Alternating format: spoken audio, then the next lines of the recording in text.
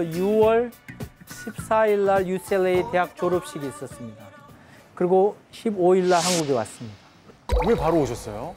그때 대한민국을 바꾸는 큰 일이 한국에서 일어날 거라고 저희 아버님께서 저한테 가르쳐 주셨어요. 6월 10일 60 항쟁이라고 하잖아요, 요즘엔. 미국으로 찾아온 전쟁 9.11을 제가 가까이에서 기록하면서 어떻게 이 상황을 어, 대처하는가 그 과정을 꾸준히 기록할 수가 있었습니다. 그 과정에서 여러분 보통 어, 대통령이 연설하는 상황을 보면은 그 참모들이 뒤에다가 국기 걸어놓고 그 앞에서 말씀하시게 하고 하잖아요. 저런 모습이죠. 이런 연출된 모습을 대통령은 보여주고 싶어 합니다. 아, 예, 그렇지만 본인이 보여주고 싶은 모습을 그대로 촬영하는 것은 기자가 아닙니다. 그것은 홍보사가 하는 일입니다. 그렇지. 미국에서는 의회만 전쟁을 선포할 수 있습니다. 대통령은 전쟁 선포할 권한이 법적으로 없습니다. 그런데 의회가 선포하기 전에 본인이 전쟁을 선포하려고 하는 거예요. 제왕적인 모습으로 자기 자신을 보여주고 있었던 거예요. 그래서 그 내용을 제 사진으로 보여줬습니다. 이거 보십시오. 이렇게. 아, 이분이 역사에 어떻게 남을 건가를 생각해야 되는 거예요. 신처럼 왕처럼 행동하는 이 네. 부시를 약간 풍자한 느낌인 거네요. 기록한 거죠. 네. 프레지덴셜 시일이 대통령 뒤에 걸려 있었는데 이걸 제가 배경으로 해서 이분이 제왕적인 모습의 대통령을 제가 기록했습니다. 제가 이렇게 대통령을 촬영하니까 다른 기자들이 이 사진을 많이 모방했습니다. 그렇구나. 그래서 이것이 이런 시각의 사진의 원조입니다. 포토 저널리스트는 어떤 상황을 취재할 때 그 앞뒤 상황을 많이 알아야 합니다. 그 현장에 숨겨진 이야기들을 함축성 있게 포함했을 때 후세대에 더 가치 있는 역사적인 사료가 되는 것입니다.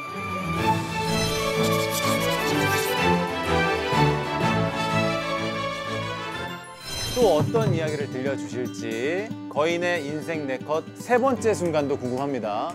9.11이 미국을 영원히 바꿔버렸다면 은 또 여러분이 살고 있는 대한민국의 역사가 확 바뀐 일이 있었습니다. 87년도에. 1987의 사진 하나 보여드리겠습니다. 어, 이거는 우리 거인의 젊은 시절 모습이신 예. 것 같은데요? 대학교 졸업하고 첫 해 사진입니다. 여러분 여기 어딘지 아시겠어요? 어, 저 남산. 타워. 남산 타워. 네.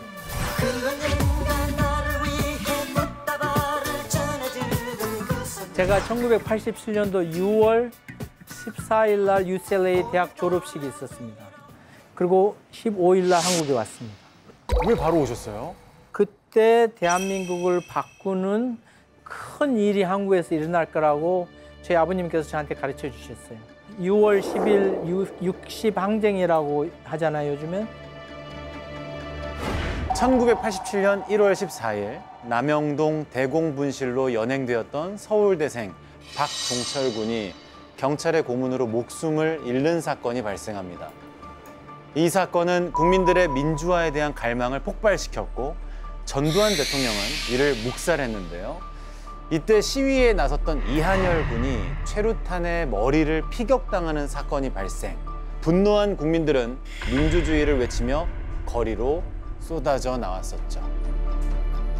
그때 제가 저희 신문사 외신부장하고 저희 사진부장한테 당신들은 한국 스토리 모르지 나는 알아. 내가 한국에 나가야겠다고 아. 이- 단호하게 이야기했습니다. 예, 그랬더니 필요한 거 뭐든지 가지고 가라고. 그래서 이 전송기 가지고 아, 왔습니다. 이 사진을 프린트해 가지고 이 전송기에 걸어 가지고 이렇게 이렇게 돌아가면서 이게 가는 건데 저는 이제 그 당시 한국의 민주화 운동을 실시간으로 취재해 가지고 와. 매일매일 이렇게 사진으로 촬영해서 미국으로 사진을 마감을 했습니다. 그럼 이제 그 사진들이 LA 타임스, 미국에서 가장 큰 신문 중에 하나가 매일매일 보도를 했던 거죠.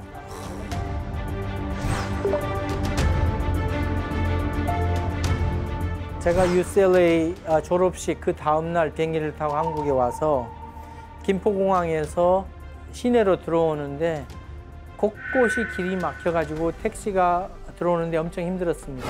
체류탄 냄새가 택시 안에까지 났고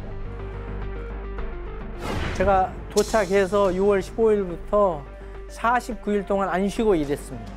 저하고 같이 일하던 우리 동경 지국장 이분은 위험하니까 밖에 안 나가셨어요. 그리고 제가 가서 뭘 촬영해 왔다고 보여주면 그걸 이제 기사로 써가지고 우리가 보냈는데 저희 신문사 사내 신문에 왜 한국에 가서 많은 인원이 취재를 하고 있는가를 나간 기사가 있었는데 그때 그 용어로 그룹 사진을 찍은 게 있습니다. 바로 이것입니다. 아, 이게 동료분들이시군요. 예, 맨 뒤가 접니다. 근데 왜 숙소 안에서도 헬멧을 풍자하는 사람. 예. 아, 아 그래. 아, 풍자. 우리가 지금 한국에서는 이렇게 실내에서도 쓰, 쓰고 있을 만큼 상황이 위태롭고 위험하다라고 이 친구들이 예.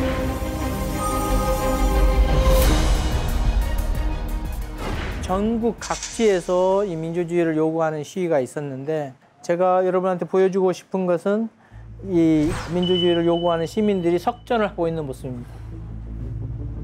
어, 굉장히 위험해 보이는데. 제가 미국에서 경험했던 것보다 또 뉴스로 알고 있던 어떠한 시위보다도 한국 사람들은 신사적으로 시위했습니다. 길거리에서만 주변 가게나 건물들은 파괴 안 하고 이게 성숙한 민주주의를 요구하는 모습을 한국 사람들은 보인 거죠. 이게 국민의 손으로 딱 쟁취하는 장면인 거잖아요. 민주주의를. 그거에 대해서 여러분은 전부 다, 다 아, 자랑스러워 하셔야 됩니다. 왜냐하면은 제가 87년도 한국민주화운동 취재를 하고 88년도에 백두산 촬영하러 북경에 갔는데 우리 지국의 통역관이 있었어요. 저한테 어디서 있다 왔냐고 해서 대한민국에서 민주주의 취재하고 왔다 그러니까 어 나- 나도 안 되는 거예요. 그래서 어떻게 아냐 그랬더니 중화인민공화국 공산당 TV가 한국의 민주주의 데모하는 모습을 보여주면서 민주주의는 저렇게 소란하다고 무질서라고 자막을 쓴다는 거예요. 아하. 그런데 대학원생들은 저 장면을 보면서 대한민국 젊은이들은 엄청 용감하다고 생각한다는 거예요. 그리고 1년 후에 천안문 광장에 100만 도 넘는 인파들이 모여서 민주주의를 요구하는 일이 생겼습니다. 그래서 이 대한민국에서 있었던 민주화 운동이 전 세계로 아직도 수출되고 있습니다. 나비 효과. 가장 최근에는 홍콩에서 학생들이 네. 우리 민주주의 방식을 요구하고 있고